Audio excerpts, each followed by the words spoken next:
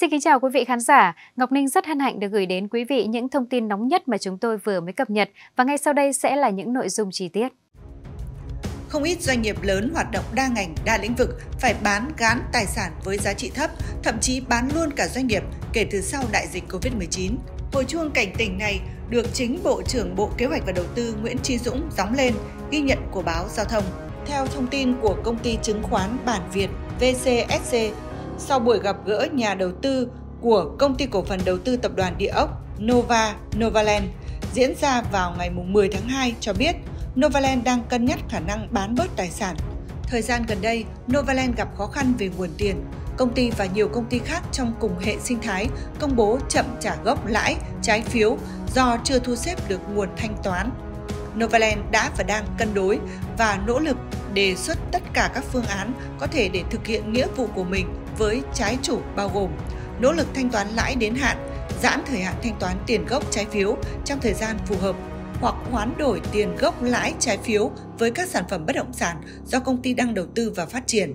Theo Novoland, hiện đã có hàng trăm trái chủ đồng ý hoán đổi trái phiếu bằng các sản phẩm bất động sản trong thời gian qua khi công ty đưa ra các đề xuất nêu trên đại diện Bộ Kế hoạch và Đầu tư cho biết làn sóng bán tháo tài sản đang diễn ra từ cuối năm 2022 đến nay, nhưng phần lớn vẫn là các doanh nghiệp thuộc lĩnh vực bất động sản.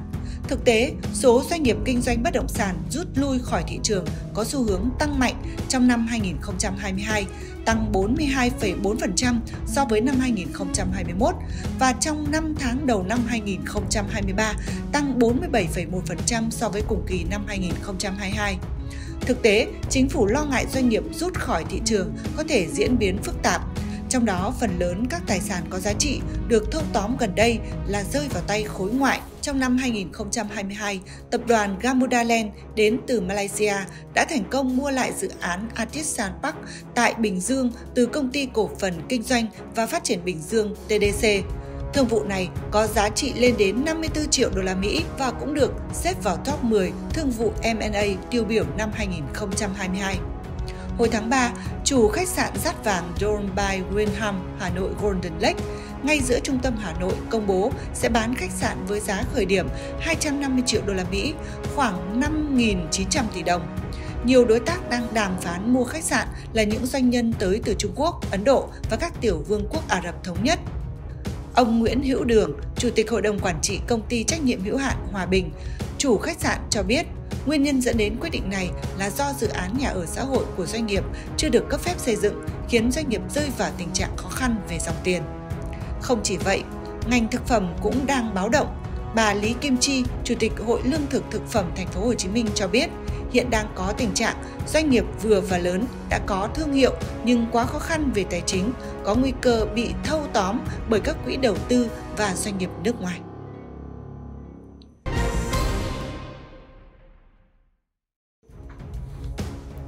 Báo cáo thị trường bất động sản của nhiều đơn vị nghiên cứu công bố gần đây cho thấy, từ tháng 4 năm nay, các dự án bất động sản mới và các dòng sản phẩm khác trong thị trường có sự giảm thanh khoản một cách bất ngờ. Có đơn vị nghiên cứu đánh giá việc thanh khoản này giảm trên 60%, đặc biệt có những dự án thanh khoản giảm trên 80%. Theo Chủ tịch Hội Môi giới Bất động sản Việt Nam Nguyễn Văn Đính, thanh khoản yếu dần đến sụt giảm doanh thu rất mạnh của các doanh nghiệp bất động sản không ít doanh nghiệp thiếu vốn nên buộc phải dùng các dự án đang triển khai, thậm chí là sa thải bớt lực lượng lao động, giảm giá thành, chấp nhận lỗ, thị trường và sức khỏe doanh nghiệp đang yếu dần. Còn theo ông Lê Hoàng Châu, Chủ tịch Hiệp hội Bất động sản Thành phố Hồ Chí Minh, hiện nay thị trường bất động sản đang rất khó khăn, đứng trước khả năng có thể rơi vào suy thoái. Một số tập đoàn, doanh nghiệp bất động sản đang thu hẹp quy mô đầu tư sản xuất kinh doanh, cụ thể như dừng, đình hoãn hoạt động đầu tư, thi công xây dựng một số dự án công trình, dừng triển khai các dự án mới, dừng phát hành cổ phiếu tăng vốn. Ngoài ra, theo ông Châu, do tắc nguồn vốn tín dụng, tắc nguồn vốn trái phiếu, tắc cả nguồn vốn huy động từ khách hàng, một số tập đoàn, doanh nghiệp bất động sản đói vốn nên có hiện tượng doanh nghiệp phải vay vốn ngoài xã hội, tín dụng đen với lãi suất rất cao. Thông tin từ báo Giao thông, theo ông Phạm Xuân Hòe, nguyên Phó Viện trưởng Viện Chiến lược Ngân hàng, Ngân hàng Nhà nước, cần bơm tiền ra để cứu doanh nghiệp. Bởi thực tế, nền kinh tế đang khát vốn trầm trọng, trong khi lượng tiền lại đang nằm tại ngân hàng – Đây là sự lãng phí vì đồng tiền không được quay vòng. Ông Hòe phân tích, 4 tháng đầu năm, thu ngân sách nhà nước đạt 645.400 tỷ đồng, trong khi chi 500.300 tỷ đồng. Như vậy, còn kết dư 145.100 tỷ đồng, cộng với hàng trăm nghìn tỷ đồng năm 2022 và các năm trước chuyển sang do chưa chi hết. Chưa kể, kho bạc nhà nước phát hành 139.683 tỷ đồng trái phiếu chính phủ. Trong khi dù đã hai lần hạ lãi suất huy động và các ngân hàng thương mại đang trong xu hướng giảm lãi suất, nhưng lãi suất vay vốn ngân hàng vẫn cao khiến khả năng cạnh tranh giảm, lợi nhuận thấp. Với mặt hàng lãi suất như hiện nay, nếu có tiền thì gửi ngân hàng hưởng lãi cho nhẹ đầu và không ai muốn vay vốn để đầu tư vào sản xuất kinh doanh. Vì lãi suất vay vốn ngân hàng còn cao hơn lợi nhuận có được từ việc kinh doanh, trừ kinh doanh những lĩnh vực có lợi nhuận cao nhưng đầy rủi ro như bất động sản, ông nói. Đồng quan điểm, Phó giáo sư tiến sĩ Nguyễn Thường Lạng, Viện Thương mại và Kinh tế Quốc tế cho rằng đa số tài sản của doanh nghiệp đều bị thế chấp để vay ngân hàng, trong khi lãi vay ngân hàng đang quá cao.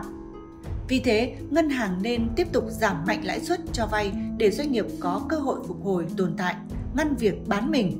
Mức lãi suất cho vay nên giảm xuống bằng hoặc thấp hơn mức trước khi tăng, ông Lạng đề xuất.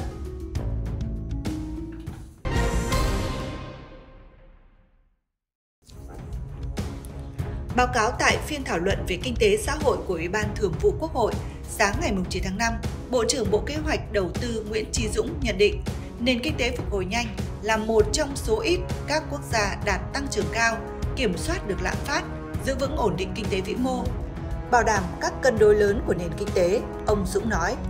Ghi nhận của tạp chí Kinh tế và Môi trường, bước sang tháng 4, nhiều chính sách, giải pháp tháo gỡ khó khăn ban hành từ đầu năm đến nay bắt đầu có hiệu ứng tác động. Tháng 4 cũng là tháng bước vào giai đoạn đẩy mạnh các hoạt động dịch vụ, nhất là du lịch. Nhờ đó đã có nhiều chuyển biến tích cực trong một số lĩnh vực, thị trường trái phiếu doanh nghiệp, bất động sản, đầu tư công, khơi thông điểm nghẽn về dòng tiền trong nền kinh tế. Tuy nhiên, Bộ trưởng Kế hoạch và Đầu tư cũng chỉ ra rất nhiều vấn đề của doanh nghiệp hiện nay, mà đầu tiên là dòng tiền. Việc điều hành tín dụng có vấn đề khi lúc thả ra quá nhanh, lúc siết lại cũng nhanh khiến cho các doanh nghiệp rất khó khăn. Nhiều doanh nghiệp lớn đã phải bán gần hết tài sản, những gì bán được đã bán và bán chỉ 50% giá thực và người mua là nước ngoài. Đây là câu chuyện chúng tôi đã cảnh báo nhiều lần rất nguy hiểm. Bộ trưởng Kế hoạch và Đầu tư nhấn mạnh. Nhận xét tại phiên thảo luận, Chủ tịch Quốc hội Vương Đình Huệ cho rằng những thành tích đạt được nhận diện cũng chưa hết, yếu kém cũng chung chung. Theo Chủ tịch Quốc hội, với năm 2022 và những tháng đầu năm 2023, cần nhấn mạnh điểm sáng cơ bản là giữ được ổn định kinh tế vĩ mô. Theo Chủ tịch Quốc hội, suy giảm động lực và tốc độ tăng trưởng đã bắt đầu rất rõ từ quý 3 năm 2022. Quý 3 tăng trưởng 13,7%, sang đến quý 4 còn có 5,9%, bắt đầu sang quý 1 năm nay còn có 3,32%, rơi gần như thẳng đứng như thế. Từ đây, nhiệm vụ là phải đánh giá, dự báo xem đã xuống đáy chưa và bắt đầu có chiều hướng đi lên không hay vẫn tiếp tục xuống. Chủ tịch Quốc hội lưu ý.